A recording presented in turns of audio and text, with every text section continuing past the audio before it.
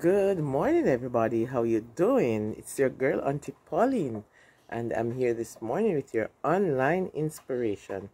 Have you ever wondered why bad things happen to good people? Yes, I know you have wondered.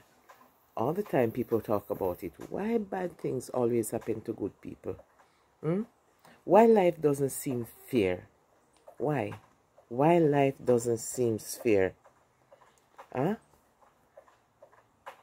For instance, the sweetest lady at church, who everyone always thinking of, of others, was killed.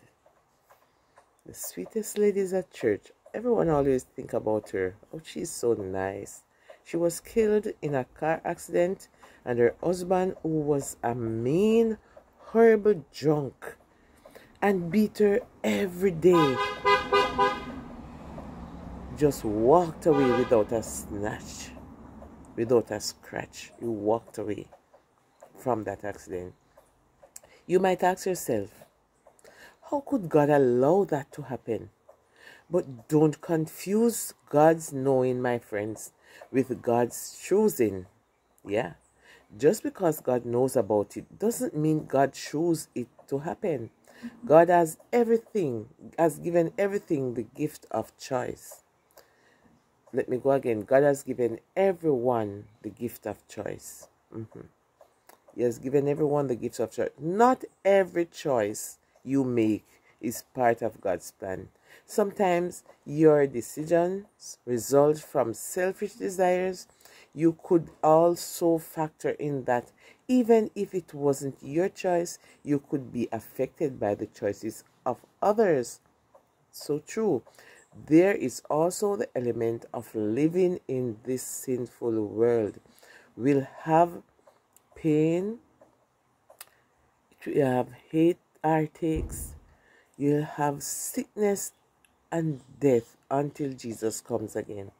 Rest assured, it is not God's desire for people to suffer. In John 10, verse 10, we are told, I am come that they might have life and that they might have it more abundantly. God wants you to be happy, my friends. Enjoy life and be prosperous, but you may have to wait for heaven to experience all that God wants you to have. Thankfully, no matter what trial you encounter here on earth, He has promised that you will never have to face it alone because He is always there to give you strength to give you courage and power to face each day. And remember, each day is a challenge. So continue to talk to God. Don't get disheartened, don't get discouraged, but continue to lean on the side of Jesus, and He will take care of you. Have yourself a wonderful and a productive day. And remember, Aunty Pauline is saying, if you can't be good, be careful.